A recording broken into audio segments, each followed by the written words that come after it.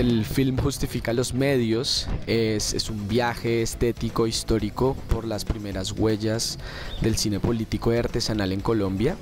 Este documental eh, cuenta con la narración, con la participación de tres pioneros del cine documental en el país, con Marta Rodríguez, Carlos Álvarez y Carlos Sánchez. Y básicamente a través de esta película nos vamos a sumergir por los años 60 y 70 en Colombia para conocer la historia de una generación de cineastas que empezaron a mirar el país desde los márgenes con una mirada crítica, pero al mismo tiempo vamos a, a conocer y a descubrir unos tesoros fílmicos, un, un, conjunto de archivos dolorosos, poéticos, crudos de, de lo que hemos sido como, como país.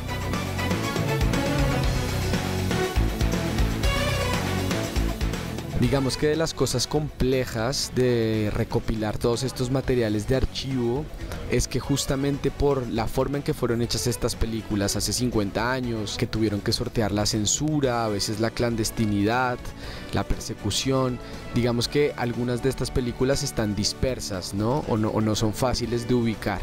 Si bien varias de ellas han tenido procesos de restauración, de conservación y hoy se encuentran en buena calidad, algunas de, de, de estas otras están próximas al olvido. Entonces, esto fue un trabajo un poco colaboración con colegas investigadores, ir a los acervos de los cineastas, a los archivos personales de los cineastas, también pasar por las entidades que se encargan de salvaguardar estas películas. Entonces fue un camino amplio en el que tuvimos que estar por Colombia, pero también por México y por Cuba, rastreando como estas obras del cine eh, político latinoamericano de los años 60.